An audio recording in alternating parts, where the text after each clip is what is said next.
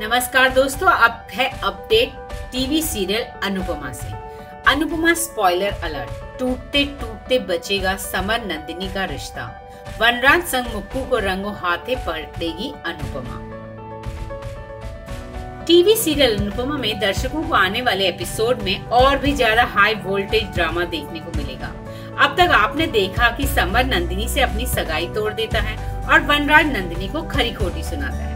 लेकिन आने वाले एपिसोड में जो होगा, उसे जानकर आप भी कहेंगे, असली एंटरटेनमेंट तो यही है। अनुपमा कराएगी समर नंदिनी का पैचअप आने वाले एपिसोड में आप देखेंगे कि अनुपमा गुस्साए हुए समर को नंदिनी से पैचअप करने को कहेगी।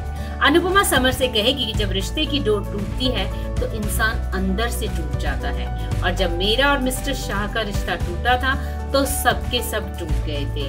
शायद आज तक कोई जुड़ नहीं पाया है। समर को बापूजी भी समझाएँगे। अनुपमा की बात का समर्थन बापूजी भी करेंगे। बापूजी समर से कहेंगे कि जो भी अनुपमा कह रही है, वह एकदम सही है। बापूजी कहेंगे कि बचपन में तेरा क्रिकेट बैट टूट गया था। तूने उसे जोड़कर आज तक संभाल कर रखा है। एक खिलौने को जोड़कर रखने वाला समर क्या एक रिश्ते के लिए कोशिश नहीं कर सकता? बा भी बापूजी का साथ देंगी और समर को समझाएँगी। वनराज भड़काएगा समर को।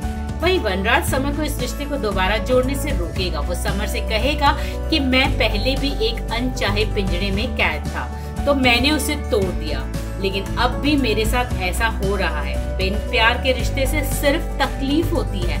मैं बस यही कहना चाहता हूँ कि जो रिश्ता नहीं अच्छा लगे, ना बेटा, उसे जोड़ना मत। रिश्ता वही बनाना जो परफेक्ट हो। अनुभव वनराज की बातें सुनकर भड़क जाएगी। वो वनराज से कहेगी कि कोई रिश्ता परफेक्ट होता नहीं। उसे परफेक्ट बनाना पड़ता है। नंदिनी को समझाएगा तोशु। आने वाले एपिसोड में आप देखेंगे कि तोशु नंदिनी से मिलेगा और उसे समझाने की कोशिश करेगा। नंदिनी से तोशु कहेगा कि गुस्से में इंसान सिर्फ़ अपना पॉइंट सही साबित करने की कोशिश करता है। तुझे चीज़ों को समझ है, फिर भी तू ऐसे रिएक्ट कर रही है।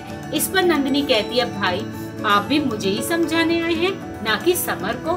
तभी तोशु कहता है, तू मेरी बहन है, इसलिए समझाने आया गुस्से में लिए गए फैसले गलत होते हैं और मैं ये अपने पर्सनल एक्सपीरियंस से कह रहा हूँ। मालविका पर डोरे डालेगा वनराज। वनराज गुस्से में अपने केबिन में काम करता है, तभी मालविका उसे मनाने के लिए आती है। तभी वनराज मालविका से इमोशनल बातें करता है। वो कहता है कि कोई मुझे समझे ना मत समझे। मुक्कू, तुम तो मुझे समझती हो ना। तुमने भी मेरी तरह दो बार चोट खाई है, पहले प्यार करके और फिर शादी करके। वनराज को मालविका संग रंगे हाथ पकड़ेगी अनुपमा। इसके बाद वनराज मालविका का हाथ पकड़ लेता है। वो उससे कहता है कि तुम्हें तो मैं गलत नहीं लगता ना। तुम मुझ पर भरोसा करती हो ना। ये सुनते ही मालविका भी वनराज का हाथ थाम लेती है। इन दोनों को इस तरह अनुपमा देख लेती है। इसके बाद अनुपमा वनराज से कहती है कि आप ये ठीक नहीं कर रहे। मेहरबानी करके अपना घर और अपने बच्चे संभालिए। तभी वनराज कहता है, यहाँ से जाओ। मेरे लिए सबसे ज़रूरी है इस वक्त मालविका को संभालना।